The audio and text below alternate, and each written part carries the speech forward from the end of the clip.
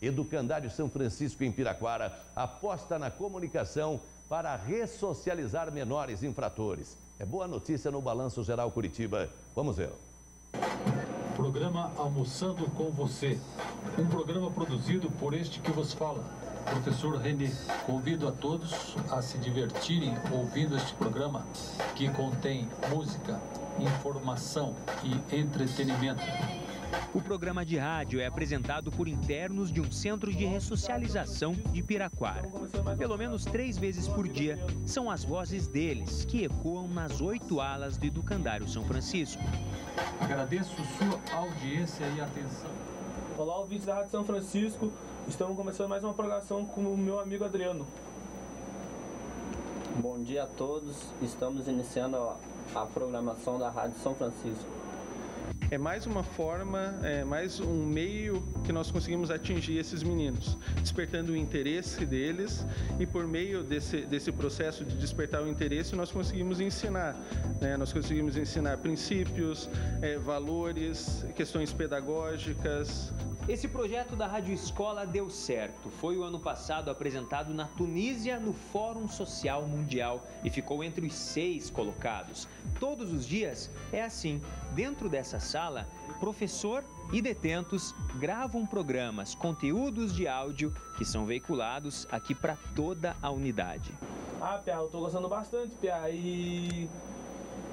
E o que você vai estar escolhendo de música para nós ir? Então, nós vai estar tá achando umas músicas aí, o projeto Chuva de Novembro, nós vai estar tá dedicando para todos os piá que estão ouvindo aí e para todos os demais aí.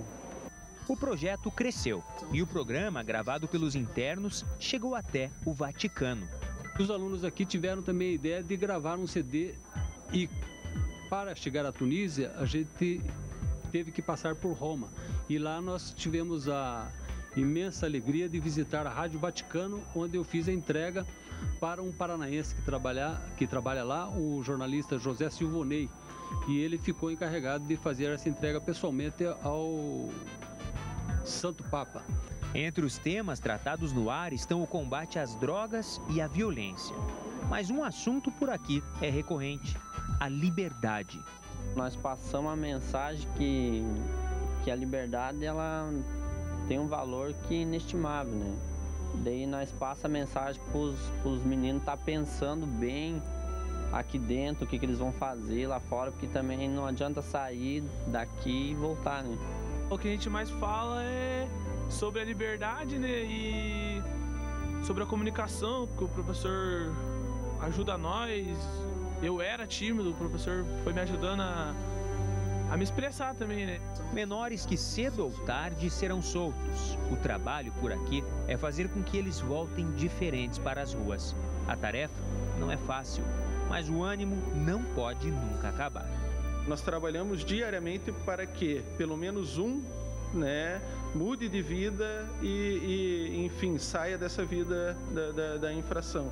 Né? Graças a Deus e ao bom trabalho que é executado no Centro de Socioeducação, né, esse número é bem maior. Né? Não é só um adolescente que nós temos retorno de que muda de vida, são vários.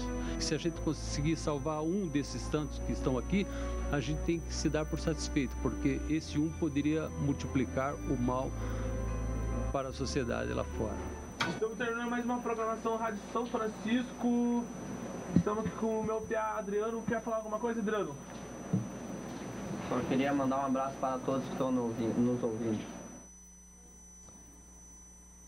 Legal. Nunca é tarde. Temos que acreditar, de repente, que esses menores ainda têm salvação.